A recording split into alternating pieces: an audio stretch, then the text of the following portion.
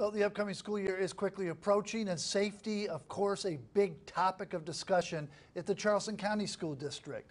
News News Jordan Siopa is live outside the district headquarters downtown Charleston and Jordan, bulletproof doors were brought up several times throughout the meeting. Well, Brendan, the company R2P Innovations wants to see their ballistic resistant doors in CCSD classrooms, and today the CEO called on the board to consider making this change. Now, R2P stands for Responsibility to Protect. Since the Sandy Hook school shooting, the company has been pushing for schools to install the protective doors, which the CEO says cost $6,000 each.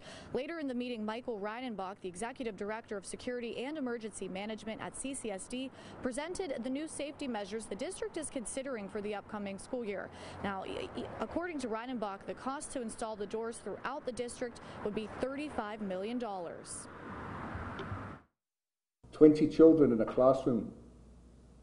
That's $1 a day to give students and faculty the best chance of survival in that critical 10 minute window. Things to consider uh, that we may have to look at uh, if, if we move forward with that would be uh, the, the, the, remaining vulnerabilities that exist. So if there's a window beside the classroom door, uh, if there is that drywall or exterior windows, uh, to, to, in order to realize the full protection of the door, uh, would we need to address those elements as well.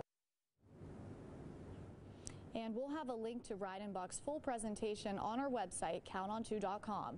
Reporting live in Charleston, Jordan Siopa, Count on 2.